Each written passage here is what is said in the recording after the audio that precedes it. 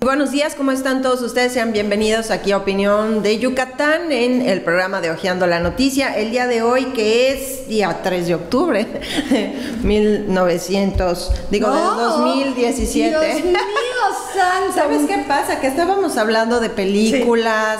rememberando muchas cosas, entonces como que me fui muy atrás, ¿verdad? Nos fuimos a nuestras eh, Infancias. épocas mozas, en donde hablábamos de quién no vio la señorita Cometa. Así es, ¿Cómo estábamos... comenzó esa plática?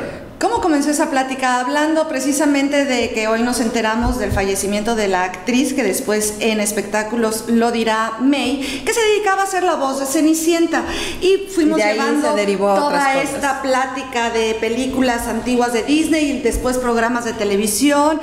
Y bueno, pues estamos pues bueno, en este programa. a los 1900 y tantos. O sea, nada de violencia, nada de matanzas. Sí, estábamos añorando realmente esa época tan, tan dulce, tan bonita que de alguna forma nos tocó. Digo, sí hubieron sus eventos fuertes, pero no tan fuertes como los que están sucediendo ahora, ¿no? Como la matanza de, de Nevada, en fin. Lo que pasa es que antes no nos enterábamos. Eso, las redes ahora son más... la Antes no nos globalización. enterábamos, antes nos, nos enterábamos como cuatro días después y así como que, ay, oye, supiste que... en-?" Ahorita ya es. a la orden del día ya tienes la, la información. Así es. Pues bueno, Loreta Escandón y Mayquest le dan la bienvenida y les vamos a decir las noticias que acontecen actualmente y comenzamos con Milenio Novedades. Claro que sí, con muchísimo gusto. Y en Milenio No Verdades la portada tiene que estudiantes toman la batuta en transporte. Ante la falta de interés de responsables en el tema, universitarios de la UADI y el Tecnológico de Mérida afinan alternativas que entre otros, solucionen a las demoras, números insuficientes de unidades y malos tratos de choferes. También tenemos que el empleo va cuesta arriba en Yucatán. En los primeros ocho meses suman 6.742 plazas más registradas en el Instituto Mexicano del Seguro Social. Y la imagen principal de esta portada es precisamente este tiroteo que sucedió ayer en Las Vegas, Nevada, y la investigación hacia este francotirador que pudieron dar que era una persona millonaria. En el diario del Por esto, en la portada Senda Suicida, la política del actual gobierno de Estados Unidos conduce a esa nación y a la humanidad al precipicio de la extinción. El mercado de las armas de fuego estimula operaciones de compra-venta que mueve a enfrentamientos cada vez más próximos hacia una confrontación definitiva. Ya se ubican en las proximidades de las cuales ya no hay posibilidad de la marcha atrás. Punto medio a cinco años, crecimiento fuerte del 6.2%. El avance de la economía de Yucatán es fruto del trabajo conjunto de todos los sectores. Esto lo afirma el gobernador Rolando Zapata. Al empezar el último año de su mandato, subraya también la disminución de las carencias sociales y de pobreza.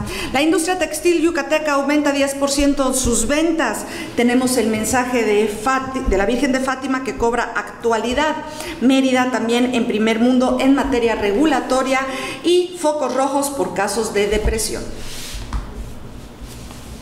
La verdad de Yucatán tenemos en su portada que nuestro estado continúa por un muy buen rumbo. En redes sociales, Rolando Zapata Bello rinde su quinto informe de gobierno, más logros con un estado seguro y estable. En temas de política, diputados aprueban el dictamen para ley anti-Uber. En temas de dinero, empresarios piden prórroga en facturación electrónica. Diario de Yucatán es la peor matanza. El tiroteo en Las Vegas deja al menos 59 muertos y 527 heridos. La exigencia de mayor control de armas vuelve. Y pues vemos estas imágenes principales de todos estos adoloridos allá en Nevada. Tenemos la otra imagen que habla sobre Cataluña que protesta en las calles. Salieron los jóvenes contra la brutalidad policíaca allá en Barcelona. La conjuntivitis en su mayor nivel en Yucatán, con 22.603 casos, ya se rebasan los registrados en 2015. Y al iniciar la entrega de tarjetas a damnificados de los sismos, el presidente Enrique Peña Nieto anunció que se repartirá una bolsa de 7 mil millones de pesos en Chiapas y Oaxaca. Tenemos ahora la portada de la jornada Maya y el combate feroz de Rolando Zapata Bello a corrupción sin resultados. Masacre en Las Vegas, la mayor de Estados Unidos, al menos 59 personas fallecieron y más de 500 resultaron heridas durante este tiroteo. Un sujeto disparó desde el piso 32 del Mandalay Bay hacia miles de personas que se divertían en un concierto al aire libre. Esta matanza ocurrió el domingo por la noche y el presunto responsable ya está muerto. En Campeche por conjuntivitis crece el ausentismo escolar al 35% en Quintana Roo Bosch pierde turismo por la reciente crisis sanitaria de la isla. Y ahora continuamos con nuestras contraportadas. Claro que sí, empezamos con Milenio Novedades. La falta canje de placas de 115 mil vehículos, un total de 407 mil 688 automotores se reemplacaron, los cuales aprovecharon durante nueve meses descuentos en multas y recargos. El trámite deja ingreso al gobierno por 362 millones de pesos y ya bajó, pues lógicamente, la afluencia en los módulos. La imagen principal es el Campo Marte, en donde el presidente encabezó el homenaje a las víctimas de los sismos. Tenemos también que detectan a Yucatán con déficit de gasolineras. Prospección entre números de autos y los expendios no han llegado a su límite, faltan 250 negocios. Inconstitucional donar dinero de partidos, dice Valadez. Recursos para damnificados provienen de impuestos de los mexicanos, dice Peña. Contraportada del diario Por esto no se olvida Hernández Gamundi, dirigente estudiantil de aquel movimiento de 1968, recordó el gran nivel de organización alcanzado en ese entonces por los jóvenes y que hoy, después de los sismos, vimos a los jóvenes con una enorme generosidad y solidaridad con los demás. Nos enseñaron que sí estaban ahí, que quieren participar y que están hartos de muchas cosas que ven. Y la campaña para recuperar al turismo, el gobierno estatal emprende acciones para contrarrestar efectos de warning de Estados Unidos, reunión con mayoristas de Nueva York y Washington, D.C. Y el gobernador Carlos Joaquín viajó a Estados Unidos para emprender esta campaña de promoción emergente para contrarrestar estos impactos negativos. Contraportada de punto medio, se incrementa la cifra mortal. Autoridades policíacas de Las Vegas reportan también que 527 personas resultaron heridas a causa del tiroteo. Y padres de familia temen fuga de dueña del colegio Enrique Repsamen. Eh, convoca a huelga general en Cataluña en apoyo al referéndum y presentan la segunda edición de la Vuelta Yucatán. Más información en deportes. La verdad de Yucatán en la contraportada, masacre, 59 muertos. El portavoz de la policía de Las Vegas, Joe Lombardo, pidió paciencia a los familiares. La identificación de las víctimas pues llevará tiempo. Roberto Borges apela en Panamá su orden de extradición. En temas de seguridad, accidentes dejan cuatro lesionados. Imprudencia de conductores provoca daños materiales en Mérida y en Humán alertan de posible plaga forestal en la península, aseguran supervisores de Profepa que hay otro operativo en cuanto a la madera talada ilegalmente y más adelante en espectáculos les hablaremos de Natalie Portman que vuelve al cine. Portada de sección local del diario de Yucatán. Refuerzan protección civil, nueva ley fortalece la cultura de prevención en materia de desastres en el Estado, reglas y catálogo de derechos para casos de urgencia. La imagen principal que tenemos en esta portada es de la niña Vanessa Solís, que recibe una vacuna en el marco del anuncio de la tercera Semana Nacional de Salud, que se realizará del sábado 7 al viernes 13 próximo. Y el sismo afectaría el erario, prevén para el 2018 redistribución de recursos federales. Aparece en las instalaciones de la Secretaría de Seguridad Pública el busto de Eligio Ancona. La esfinge estaba en resguardo, dice la corporación. Y en el Busca Hoy, la CBT 120 de Emiliano Zapata Salazar celebra 38 años de existencia.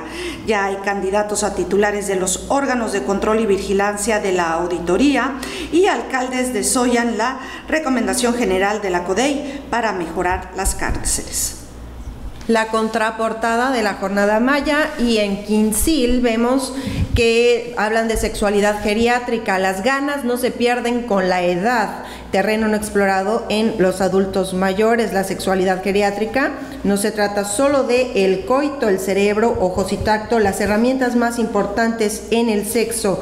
Yucatán va a pasos lentos para romper prejuicios y mitos sobre la vejez. Y ahora continuamos con las interiores.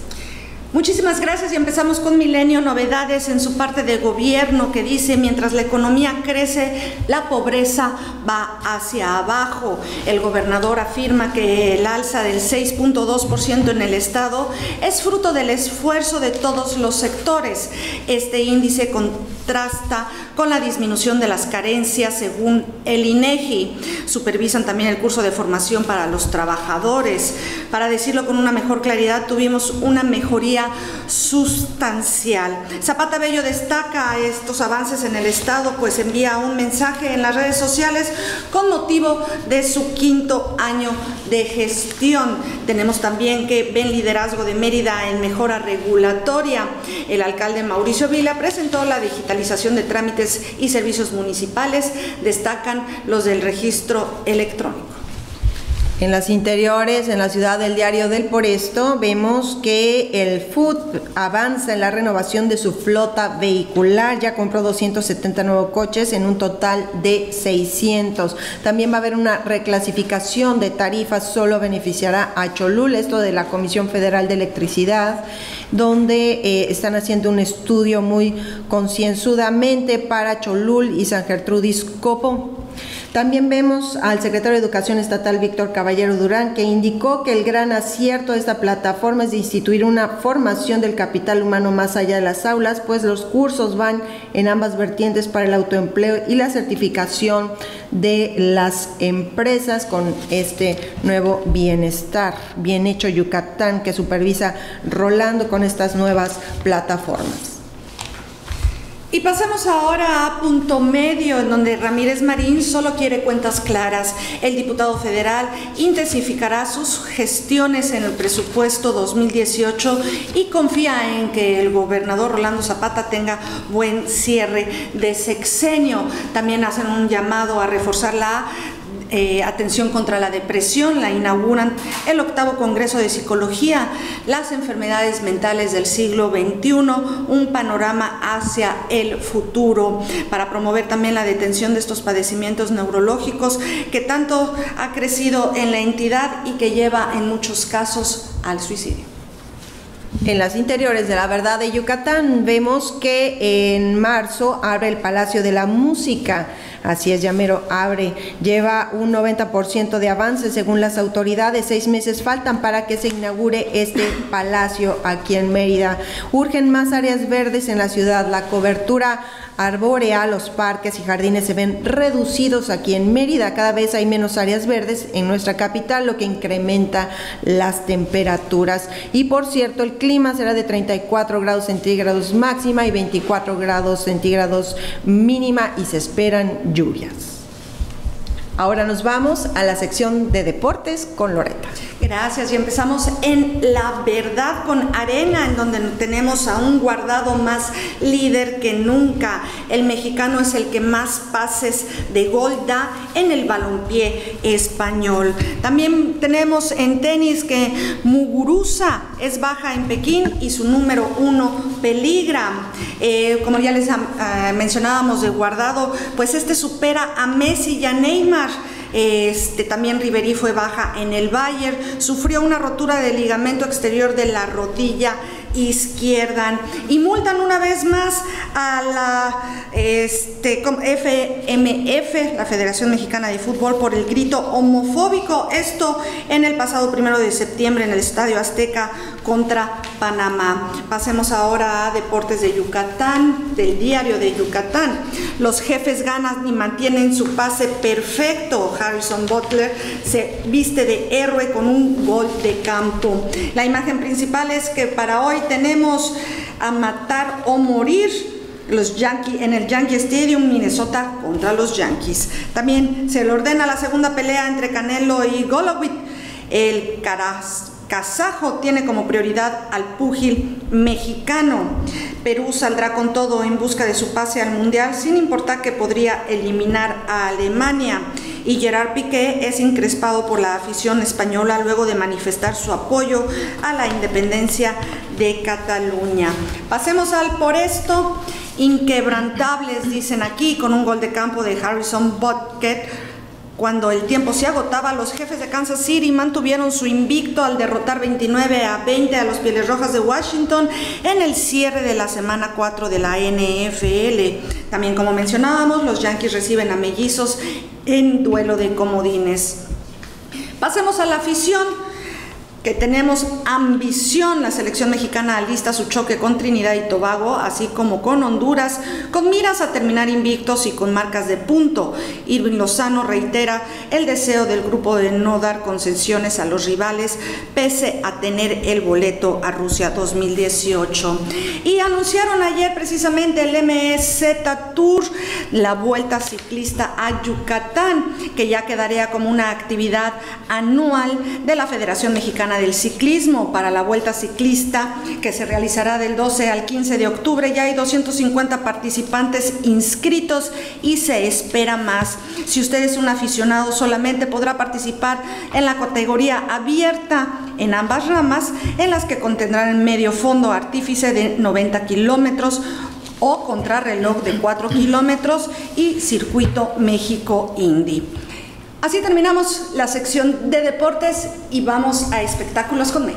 Bien, y en imagen del diario de Yucatán tenemos que no es tan arriesgada. Es Alma Hayek que disfruta de la semana de la moda en París, donde impactó a los asistentes con un radical cambio de imagen. La actriz decidió modificar su cabellera larga y morena por uno corto y liso, un cabello rubio platinado, aunque después desveló eh, de velo, más bien que se trató simplemente de una peluca. Hace unos meses Salma se mostró con una cabellera rosa durante su estancia en Cannes. Como siempre muy arriesgada, pero no cambia su clásico, sabe que es eh, todo un juego en su look. También en espectáculos, artistas como Luis Fonsi, Chayanne y Ricky Martin van a unir fuerzas para ayudar a los damnificados por el paso del huracán María en Puerto Rico. Y el doblaje y las telenovelas fueron dos facetas en las que brilló Evangelina Elizondo, la actriz que, de la cual estábamos hablando al abrir el programa, que fue la que nos desvió en la, bueno, a mí en, en la fecha y bueno, falleció el día de ayer dejando de luto al medio artístico. En temas de religión, Mérida se suma a los festejos mundiales por el jubileo de los 100 años de las apariciones de la Virgen de Fátima con un amplio programa de actividades religiosas. Pasamos ahora a un espacio para todo. En el ático vemos en la imagen a Lady Gaga donde pide a los líderes estadounidenses que actúen rápidamente para endurecer las leyes de armas tras la masacre en Las Vegas, mientras otros artistas se manifestaban conmocionados por el tiroteo más mortífero en la historia reciente de ese país.